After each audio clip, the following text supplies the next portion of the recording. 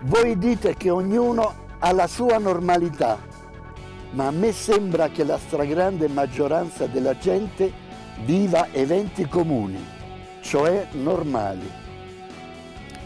Ma ognuno intimamente vive quegli eventi secondo il suo grado di evoluzione e quindi secondo la sua normalità.